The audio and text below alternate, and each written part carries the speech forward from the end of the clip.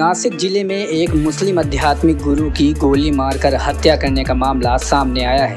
Police ने बताया कि वारदात को चार लोगों ने अंजाम दिया था। महाराष्ट्र के नासिक ज़िले के येवला में अफ़गानिस्तान के रहने वाले एक 35 वर्षीय मुस्लिम समुदाय के धार्मिक गुरु की गोली मारकर हत्या कर दी गई। हालाँकि अभी तक मर्डर करने की वजह सामने नहीं आई है। घटना की सूचना पुलिस को दी गई है। पुलिस ने बताया कि अफ़गानिस्तान के रहने वाले मुस्लिम समुदाय के धर्मगुरु की हत्या का मामला सामने आया है। इस वारदात को चार लोगों ने अंजाम दिया है। वारदात मुंबई से करीब 200 किलोमीटर दूर येवला कस्बे के एमआईडीसी इलाके में शाम को हुई।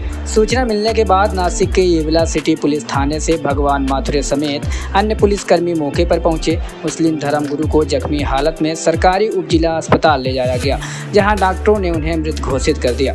एजेंसी के मुताबिक पुलिस ने बताया कि मृतक की पहचान ख्वाजा सैयद चिश्ती के रूप में हुई है। उन्हें येवला में सूफी बाबा के नाम से भी जाना जाता था।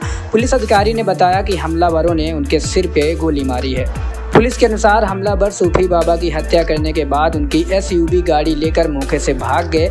येबला पुलिस थाने में हत्या का मामला दर्ज किया गया है और हत्यारों को पकड़ने के लिए पुलिस लगातार दाबिश दे रही है। पुलिस बता रही है कि आरोपियों ने एक मैदान में सूफी बाबा को गोली मारी थी। इसके बाद आरोपी मौके से फरार हो गए। पुलिस आरोपियों की तलाश के लिए इलाके के सीसीटीवी फुटेज खंगाल रही है। इसके साथ ही पुलिस को संदेह है कि किसी नज़दीकी ने ही सूफी संत की हत्या की है। हालाँकि पिछले महीने की जून को एक मेडिकल संचालक उमेश कोल्हे की गला रेत कर हत्या की गई थी। इस हत्याकांड में भी पुलिस ने सात आरोपियों को गिरफ़्तार कर लिया था। ब्यूरो रिपोर्ट, द खबरदार।